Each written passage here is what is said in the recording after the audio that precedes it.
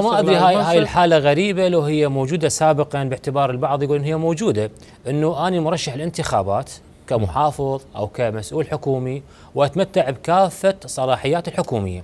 هسه عندنا مؤخرا ترشيح المحافظين ضمن مجالس المحافظات بس ماكو أي قانون أو أي قرار برلماني تنفيذي بمنعهم من آه كإجازة، على الرغم من وجود آه طلب نيابي. شباب يعرضون لنا الطلب النيابي المقدم من النائبة زينب جمعة الموسوي اللي هو حول قضية ترشيح أو إعطاء إجازة للمحافظين.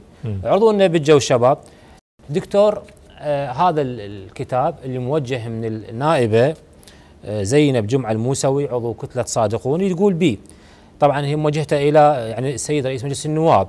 تفضلكم بالموافقة على مخاطبة السيد رئيس مجلس الوزراء بخصوص منح اجازه اجباريه لكافة المرشحين لانتخابات مجالس المحافظات مما يشغلون مناصب بالدولة كافة بكافة درجاتهم الوظيفية وخاصة المحافظين.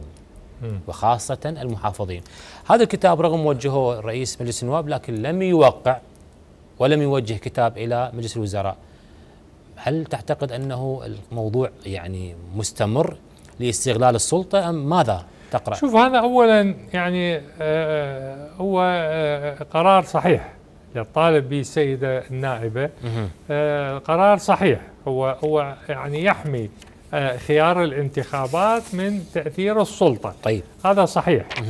لكن قانوني أو دستوري أقول لك لا لا هو قانوني ولا يعني هو دستورنا دستوري. وقانوننا يسمح لأي واحد مرشح. يسمح له بالاشتراك لأنه عنده سلطه تنفيذيه يبقى بكافة آه. صلاحياته؟ نعم.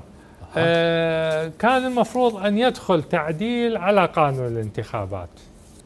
تعديل على قانون الانتخابات يقضي ب آه، مو إجازة. السيدة كا- يعني طالبة إجازة إجبارية ومو إجازة.